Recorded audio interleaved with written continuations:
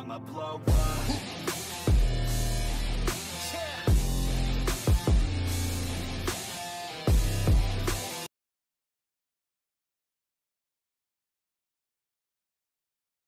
Hi, guys. Today I would like to talk to you about Dakota Skye, pseudonym of Lauren Kaye Scott, born in Tampa in 1994 and died in Los Angeles on June 9, 2021. At the age of 18, she began working in Walmart stores, working the night shift. In July 2013, after traveling to Miami for various auditions, Lauren entered the adult film industry.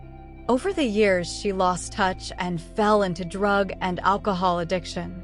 In 2021, a few weeks before her death, she was overwhelmed by controversy for showing herself topless on Instagram in front of a mural dedicated to George Floyd.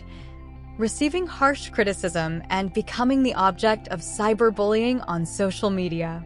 Dakota, you stated that your intention was that responsible police officers be tried for the abuse of their authority against human beings. No person should die during an arrest.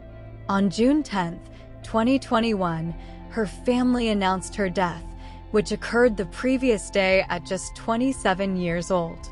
Although the cause of her death was not revealed, the message released on the actress's Facebook page ended with a warning aimed at anyone addicted to drugs. I took this story very much to heart.